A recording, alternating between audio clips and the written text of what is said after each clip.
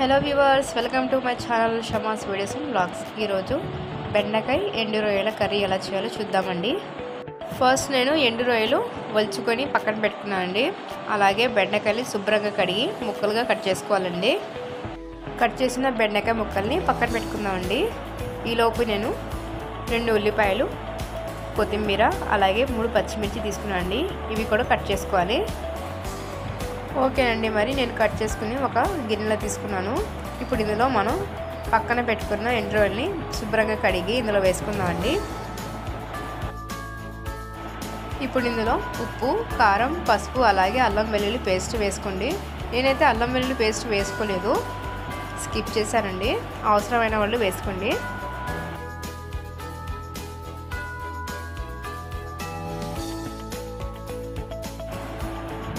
అలాగే ఇందులో ఆయిల్ని కూడా యాడ్ చేసుకోవాలి. ఇప్పుడు ఇందులో ఒక గ్లాస్ నీళ్ళు పోసి బాగా కలిపి స్టవ్ మీద పెట్టుకుందామండి.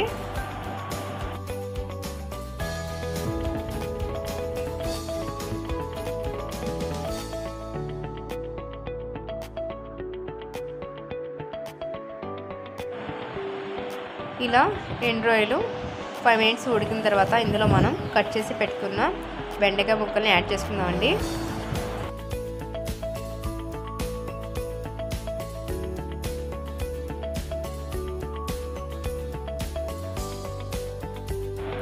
ఆల్రెడీ ఇందులో ఉన్న వాటర్ సరిపోదు కాబట్టి నేను ఒక అర గ్లాస్ వాటర్ వేసుకున్నానండి బెండకాయలు కుక్ అవ్వడానికి.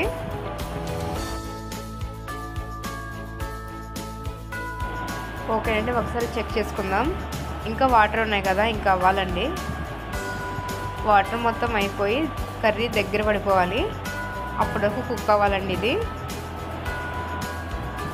ఓకేనండి మరి కర్రీ అయితే ప్రిపేర్ అయిపోయింది.